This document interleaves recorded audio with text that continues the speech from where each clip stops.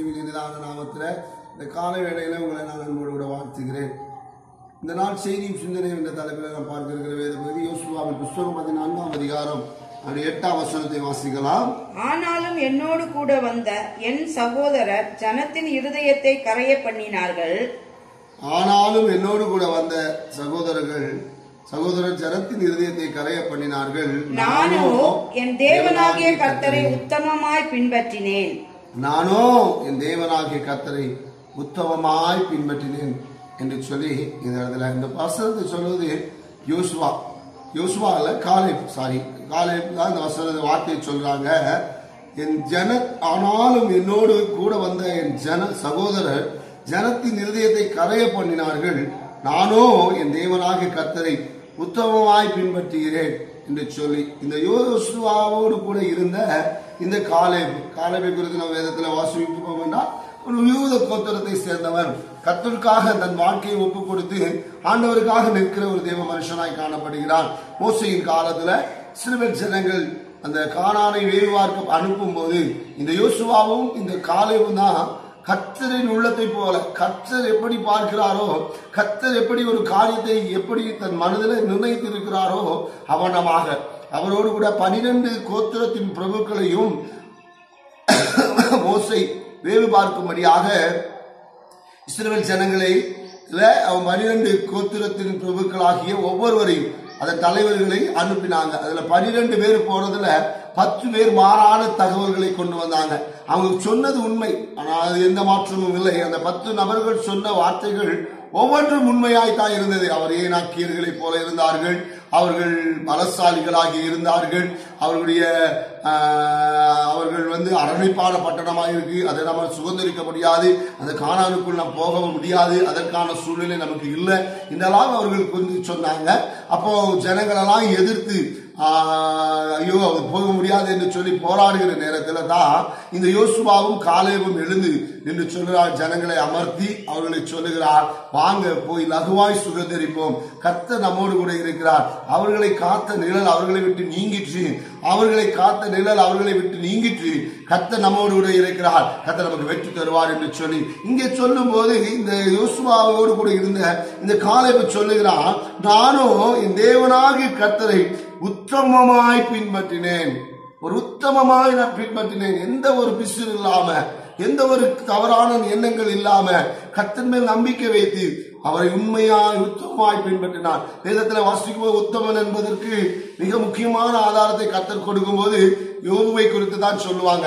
உத்தமன் அவன் உத்தமனும் சன்மார்க்கனும் என்று சொல்லி நம்ம பார்க்கிறோம். அதே போல உத்தமமாய் தேவனை நான் பின்பற்றினேன். அதனால் என்ன நடந்தது? யோசுவாவின் இருந்த இந்த காதலிப்பும் இந்த யோசுவாவும் தான் அந்த காணானுக்குள் பிரவேசித்தார்கள் என்னை கேட்கிற தேவ பிள்ளையே இந்த காலை வேளையில இந்த காணானுக்குள் நீங்களும் நானும் பிரவேசிக்க வேண்டுமானால் தேவனாகிய கத்தரை நீங்களும் நானும் உத்தமமாய் பின்பற்ற வேண்டும். உத்தமமாய் பின்பற்றினால்தான் இந்த காணானுக்குள்ளே நீங்களும் நானும் பிரவேசிக்க முடியும். இல்லை என்றால் நாம் கைவிடப்பட்டவர்களாய் மாறப்படும். வேதம் சொல்லுகிறது அந்த பனிரெண்டு கோத்திரத்துல அந்த பனிரெண்டு கோத்திரத்தை பத்து கோத்திரத்தார் அவர்கள் வழியிலே யாரெல்லாம் அதை மறுத்தார்களோ யாரெல்லாம் அந்த காணானுக்குள் பிரவேசிக்கிறதற்கு புறப்பட்டு ஆயத்தமாய் தங்கள் வாழ்க்கையிலே வாழ்க்கையை ஒப்புக் கொடுத்து கர்த்தருக்காய் வந்து புறப்பட்டார்களோ அவர்களெல்லாம் அவர்களெல்லாம் வந்து அந்த காணானுக்குள் பிரவேசிக்க முடியாமல் அவர்கள் வழியிலே வனாந்தரத்திலேயும் வழிகளிலேயும் பட்டு போனார்கள் என்று வேதம் சொல்லியிருக்கிறது. நீங்களும் நானும் ஆண்டவராக இயேசு கிறிஸ்துவை அல்லது நம்முடைய தேவனாகிய கர்த்தரை பின்பற்றுவது உத்தமமாய் இருப்போம் என்றால் கண்டிப்பாக அந்த அழியாத அந்த பரலோக ராஜ்யம் என்கிற காணானுக்குள்ளே நீங்களும் நானும் பிரவேசிக்க முடியும். என்னை கேட்கிற தேவ பிள்ளை இந்த கால வேளையில கர்த்தர் உன்னையும் என்னையும் பார்த்ததா சொல்றாரு. செய்தி எடுத்தா இந்த செய்தியெல்லாம் ரொம்ப ஆழமான செய்தி அங்க நான் போக முடியாது சரியா? அதுக்காக நான் மேலோட்டமாய் தான் பேசுகிறேன். நீங்களும் நானும் இந்த கால வேளையில ஒரு தீர்மானத்திற்குள் வர வேண்டும் என்பது தேவனுடைய திட்டமாக இருக்கிறது ஆண்டவரே நான் எதற்காக நான் அழைக்கப்பட்டேன்? ஆண்டவரே நான் எதற்காக பிடிக்கப்பட்டேன்? ஆண்டவரே நீர் எதற்காக என்னை தெரிந்து கொண்டீர்? என்பதை இந்த கால வேளையில் எனக்கு நீங்க விளங்க பண்ணுங்க. நான் உண்மை உத்தமமாய் பின்பற்றுவேன். ஆண்டவரே இந்த காணானுக்குள் நான் பிரவேசிப்பதற்கு அந்த பரலோக ராஜ்யத்துக்குள் பிரவேசிப்பதற்கு என்னை தகுதி உள்ளவனாய் மாற்றுங்க. அதற்கு நான் உத்தமமாய் வாழ என்னை நான் ஒப்புக் கொடுக்கிறேன் என்று சொல்லி யாரெல்லாம் அந்த கால வேளையில் விரும்புகிறீர்களோ உங்களுக்காக நான் செபிக்க விரும்புகிறேன். உங்களுக்காக நான் செபிக்க விரும்புகிறேன். இந்த கால காலவேளை நாம் ஜெபிக்கலாம். ஆண்டவரே நான் உண்மை உத்தமமாய் பின்பற்றுவேன். உத்தமம் என்றால் என்ன என்று சொல்லி அதை எடுத்து பேசுவதற்கான நேரம் நமக்கு முன்பாக இல்லை.